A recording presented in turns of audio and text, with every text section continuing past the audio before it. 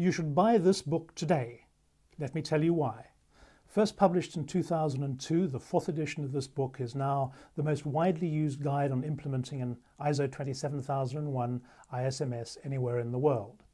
Not only is it widely used in academic uh, courses all over the country and internationally, but it's also become part of our documentation toolkit and a number of other fundamental guides that get you to ISO 27001 certification.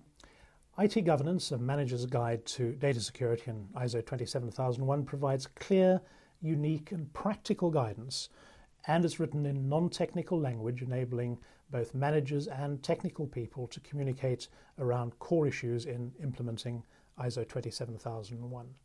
That's what makes it the guide for those designing and implementing an ISMS designed to match that standard. It's also web enabled so that you can keep up to date with key changes in implementation guidance, and it covers all aspects of data protection and information security, including virus, viruses, hackers, fraud, and computer misuse.